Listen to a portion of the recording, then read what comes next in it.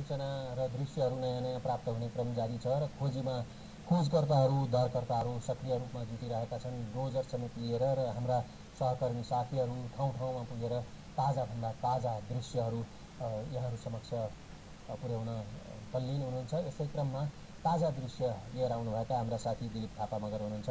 दिलीपजी पछिल्लो तपाईँले के देख्नुभयो? अवस्था के छ? राजजी पछिल्लो अवस्था अहिले खोजी कार्यहरू चाहिँ बिस्तारै जुन रूपमा भइरहेको थियो र अहिले साँझ परेपछि अलिकति खोज्न कठिन भएको अवस्था छ र अघि भर्खरै पनि दृश्यमा हामीले देखायौँ। अहिले भर्खरै यो चाहिँ काठमाडौँको कपन क्षेत्रको हो त्यहाँ पाँच तल्ले घर रहेको थियो मिलन चोक भन्ने ठाउँमा र त्यहाँ तल केही पसलहरू पनि भएको ठाउँ रहेको भन्ने हामीले बुझ्यौँ र त्यो ठाउँमा चाहिँ सात आठजना मान्छेहरू अझै पनि पुगेर बसेको आशंका गरिएको छ र खोजी कार्य त्यहाँका जुन घरमा पुगेर बसिएको पुगेर बसेको जुन सूचना त्यहाँका स्थानीय बासिन्दा र पीडित परिवारले दिएका थिए त्यो त्यो त्यो अनुसार अहिले चाहिँ नेपाली सेना प्रहरी सबैले चाहिँ प्रहरी र स्थानीय बासिन्दाहरूको ले खोजी कार्यहरू गरिरहेका छन्। त्यहाँ डोजर लाउँदै अनि त्यसपछि त्यो स्काई भेटरले पन्छाउँदै त्यसपछि भित्र गएर अहिले दृश्यमा देखिरहेका छौँ कि त्यहाँ आवाज बोलाएर यदि छ कि छैनन् भन्ने बोलाउने पनि गरेर चाहिँ खोजी कार्य गरिरहेका छन् र दुई तिनजनालाई चाहिँ घाइते अवस्थामा जीवित अवस्थामा उद्धार गरेको कुरा भर्खरै हामीसँग चाहिँ प्रत्यक्ष त्यहाँ दर्शीले बताएको पनि थिए। र अहिले निरन्तर खोजी कार्य त्यहाँ भइरहेको छ राजनीति अहिले के डोजर पनि प्रयोग गरिएको छ होइन हो ठाउँ ठाउँमा जहाँ ठुला यो अहिले चाहिँ विशाल घरहरू भत्किएको थियो र त्यो घरहरू जहाँ मानवले हातबाट र चाहिँ साबेले उसले गर्न नसक्ने ठाउँमा चाहिँ धेरै मान्छेहरू परेको ठाउँमा चाहिँ अहिले डोजरहरू पनि लगाएर अहिले चाहिँ त्यहाँ उद्धार कार्यहरू भइरहेको छ। हामी देख्न सक्छौँ अहिले हाम्रो स्क्रिनमा देखिराखिएको छ। यस ठाउँमा अझै पनि छ सातजना मान्छेहरू चाहिँ छन् भन्ने कुरा चाहिँ त्यहाँका स्थानीय बासिन्दाले बताएका छन्। र मैले यो जुन भवन अहिले खोजी कार्य भइरहेको छ यसको पछाडिपट्टि एकजना महिला अझै पनि च्यातिएर बसेको अवस्थाको दृश्य पनि मैले केही समय अगाडि लिएर आएको छु र केही समयपछि हाम्रो स्कुलमा पनि आउँछ। र अहिले खोजी कार्य अझै पनि त्यहाँ भइरहेको छ रायनजी। कपनमा मिलन चोकको कुरा गर्नुभयो। कपनमै सात तले अर्को भवन भत्किएको भन्ने छ त्यसबारेमा के जानकारी हो हो एकदमै जस्तै कपनमा यो जाने क्रममा मिलन चोक पुग्ने क्रममा चाहिँ घर पुरै सडकमा एउटा पल्टेर बसेको अहिले पनि त्यो बिमहरू देखेर सर्लक्क घरै सुतेर बसेको जस्तो अवस्थामा हामीले त्यो ठाउँमा देख्न सक्छौँ र त्यहाँ दिउँसै त्यहाँ घाइते भएकाहरू र त्यहाँ जुन घटनामा परेकाहरूलाई चाहिँ त्यहाँका स्थानीय बासिन्दा प्रहरी सेना सबै मिलेर दिउँसै उद्धार गरिसकेको थियो र कपनको त्यही मिलन चोकमा चाहिँ यति बेला फेरि स्काई भेटरले त्यहाँनिर चाहिँ अहिले पनि निरन्तर खोजिरहेको अवस्था छ। यसमा तपाईँले मिलन के भन्छ कपन बाहेक अन्यत्र के के देख्नुभयो कपाल बाहेक अन्य ठाउँहरूमा चाहिँ जुन म यहाँबाट सिंहदरबारबाट अगाडि बढ्ने क्रममा चाहिँ विभिन्न ठाउँमा चाहिँ जस्तै सिंहदरबार क्षेत्रको उता हाम्रो उत्तरतर्फको पर्खाल भत्किएको छ ठाउँ ठाउँमा घरहरू भत्किएका छन्। र मैले जुन बाटोमा पर्ने अस्पतालहरूमा पनि म गएको थिएँ र अस्पतालहरूमा पनि त्यहाँको दृश्यहरू हेर्दाखेरि अस्पतालहरूमा घाइतेहरूको सङ्ख्या चाहिँ खचाखच कुनै पनि अस्पताल चाहिँ अहिले खचाखच नभएको अवस्था छैन। राजधानीका प्रायः सबै अस्पतालहरू यतिखेर खचाखच भएको अवस्था छ राजनीति अस्पताल हेर्दा त्यो देखियो सडकमा कस्तो छ दृश्य? सडक यति बेला चाहिँ केही केही सवारी साधनहरू बुढेका छन्। सडक पेटीहरूमा मानिसहरू अहिले पनि चाहिँ सडक आफ्नो घरमा बसाउन सकेपछि अहिले दृश्यमा पनि देखिन सकिन्छ मानिसहरू चाहिँ सडक पेटीमा आएर बसेको अवस्था र यो जुन अहिले दृश्य देखिएको छ यो ठाउँमा एकजना मान्छे अहिले पनि च्यापिएर बसेको अवस्था छ। यसलाई उद्धार गर्न मतलब च्यापिएको अवस्थामा छ। यो जुन अघि स्काई भेटर लगाएर खोजी राखिएको थियो त्यो त्यही घरको हो र त्यहाँनिर चाहिँ अहिले पनि उतापट्टिबाट चाहिँ उद्धार कार्य भइरहेको छ। तर पछाडिपट्टि जुन ठाउँमा सानो गल्ली भएका कारणले गर्दाखेरि स्काई भेटर लग्न सकिएको छैन। त्यो उद्धार गर्न अहिले सकिएको छैन।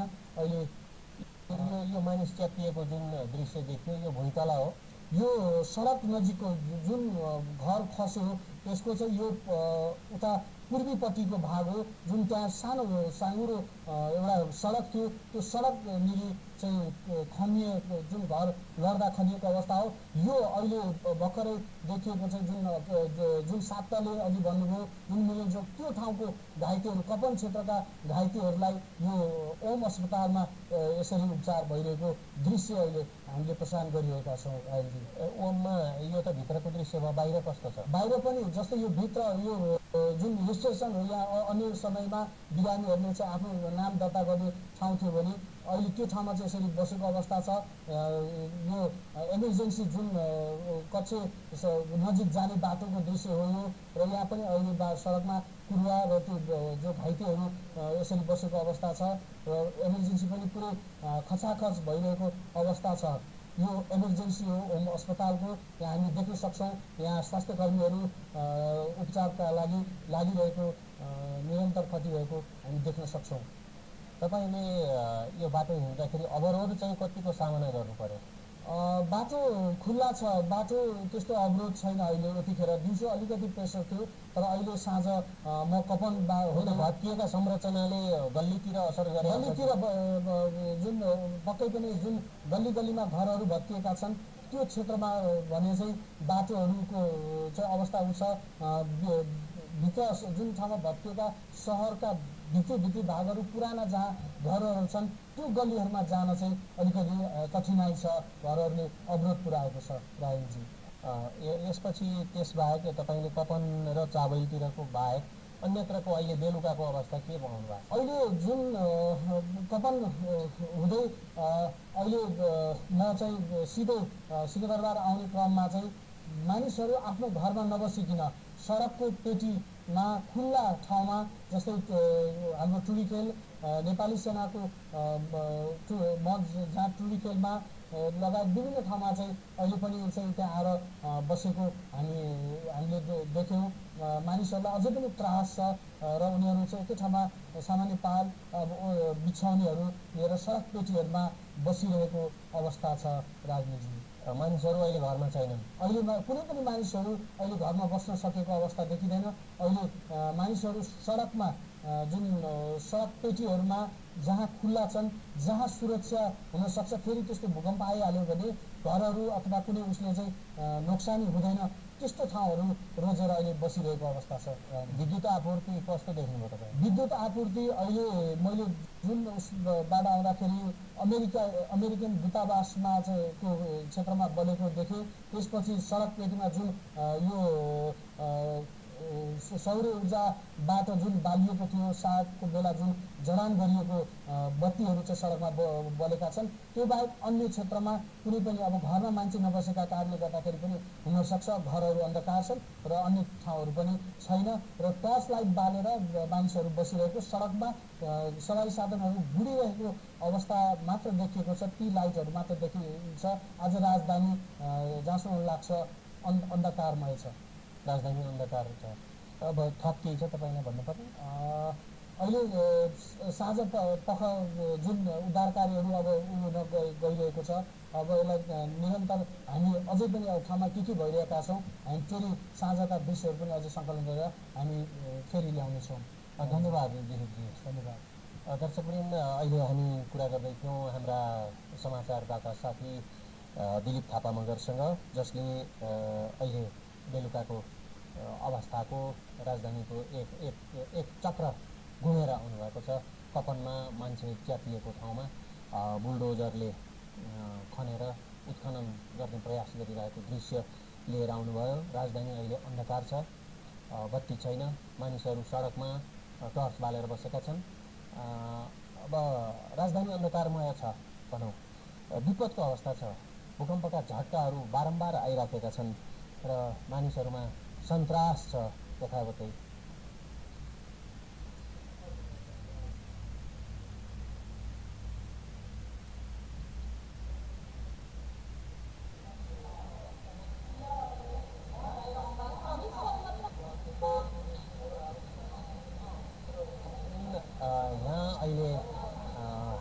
जहाँ बसेर बोल्दैछौँ जहाँ बसेर बोल्दैछौँ यो हाम्रो आपतकालीन स्टुडियो भएको छ।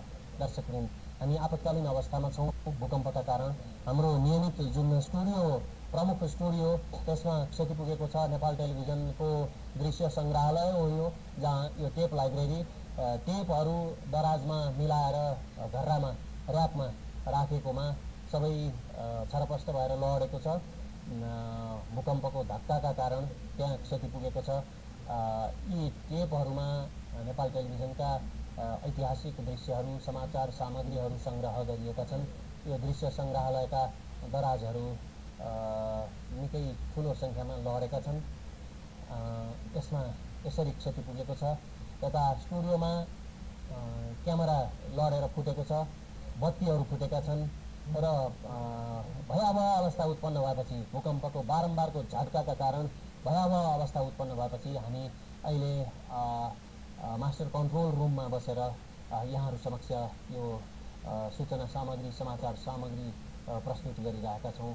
यो भूकम्पका कारण भएको क्षतिको विवरण हो दर्शकवृन्द यो क्षतिको दृश्य देखाइरहँदा नेपालमा अहिलेसम्म अहिलेसम्म चौध सय सन्ताउन्नजनाको मृत्यु भएको छ। र नेपाल सरकारका प्रवक्ता सूचना तथा सञ्चार मन्त्री डाक्टर मिनेन्द्र रिजालले अन्तर्राष्ट्रिय अनुभव समेतलाई हेर्दा र गोर्खाको बारपाक लगायत विभिन्न ठाउँको सूचनालाई विश्लेषण गर्दा मृतकको यो सङ्ख्या जो छ चौध सय सन्ताउन्न यो बढेर तिन गुणा हुनसक्ने अनुमान गरिएको छ। उहाँले त्यो बताउनु भएको छ र यो भूकम्प सबभन्दा ठुलो झड्का एघार बजेर छप्पन्न मिनट जाँदा गएको थियो। त्यो सात दशमलव छ हेक्टर स्केलको थियो। म्याग्निच्युडमा मापन गर्दा र राष्ट्रिय भूकम्प मापन केन्द्र लैनचौरका प्रमुख लोकविजय अधिकारीका अनुसार भूकम्प गएको सबभन्दा नजिकको ठाउँ हाम्रो भूगर्भको अवस्था। यो सबैलाई हेर्दा यो नै आधिकारिक कतिपय पश्चिमा सूचना स्रोतहरूबाट प्राप्त जानकारीमा त्यो सात दशमलव आठ सात दशमलव नौ भनिएको भए पनि यकिन यसको म्याग्निच्युडमा सात दशमलव छ रिक्टर स्केल हो भन्ने राष्ट्रिय भूकम्प मापन केन्द्रले जनाएको छ दर्शकहरू।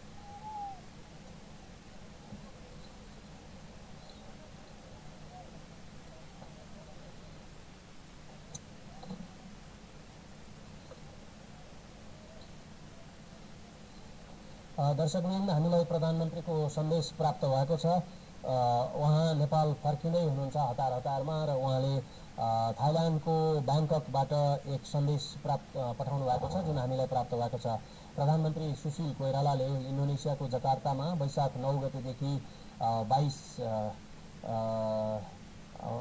जकार्तामा आयोजित र सम्पन्न एसिया अफ्रिका शिखर सम्मेलनमा भाग लिई नेपाल फर्कने क्रममा आज अपरान्न ब्याङ्कक आइपुग्नु हुँदा आज भएको भूकम्पको दुःखद समाचार सुनेर आफू मर्माहत भएको दुखित भएको बताउनु भएको छ। उहाँले तत्कालै उप प्रधानमन्त्री गृहमन्त्री तथा सुरक्षा निकायका प्रमुखहरूसँग समेत सम्पर्क गरी तुरन्त उद्धार कार्य गर्न आवश्यक पर्ने सम्पूर्ण कदमहरू चाल्न निर्देशन दिनुभएको छ। प्राकृतिक प्रकोपबाट जनधनको व्यापक क्षतिको यस दुःखद घडीमा सम्पूर्ण सरकारी संयन्त्रहरू देश तथा विदेशमा रहेका दाजुभाइ तथा दिदीबहिनीहरू सम्पूर्ण राजनैतिक दलहरूका नेता तथा कार्यकर्ताहरू सबैबाट युद्ध स्तरमा भूकम्पबाट प्रभावित सबैको उद्धार र राहत प्रदान गर्ने काममा एकजुट हुन आह्वान गर्नुभएको छ। प्रधानमन्त्रीले भारतका लागि नेपाली राजदूतलाई तत्काल उद्धार र राहत कार्य अगाडि बढाउन भारत सरकारसँग आवश्यक समन्वय गर्न निर्देशन दिनुभएको छ। यस सम्बन्धमा भारतका प्रधानमन्त्रीले प्रधानमन्त्रीसँग फोनमा कुरा गरी आवश्यक सबै किसिमको सहयोगको लागि तत्पर रहेको कुरा बताउनु भएको छ। साथै चिन सरकार सहयोगका लागि तत्पर रहेको कुरा नेपालका लागि चिनिया राजदूतले प्रधानमन्त्रीलाई टेलिफोन गरी जानकारी गराउनु भएको समाचार पनि प्राप्त भएको छ। उपहार तथा सहयोग सम्बन्धमा उद्धार उद्धार तथा सहयोग सम्बन्धमा श्रीलङ्काका राष्ट्रपति तथा पाकिस्तानका प्रधानमन्त्रीले समेत फोनमा प्रधानमन्त्रीसँग कुरा गर्नुभई उद्धार तथा राहत कार्यमा सहयोग गर्न तत्पर रहेको कुरा बताउनु भएको छ। यस दुःखद घडीमा प्रधानमन्त्रीले मित्र राष्ट्रहरूसँग उद्धार तथा राहत कार्यका लागि अपिल गर्नुभएको छ। साथै प्रधानमन्त्री कोइराला चार्टर्ड उडान उडान वा छिटोभन्दा छिटो उपलब्ध हुने अन्य उडानबाट नेपाल फर्कनको लागि ब्याङ्ककमा हुनुहुन्छ। प्रधानमन्त्रीको निर्देशन अनुसार थाइल्यान्ड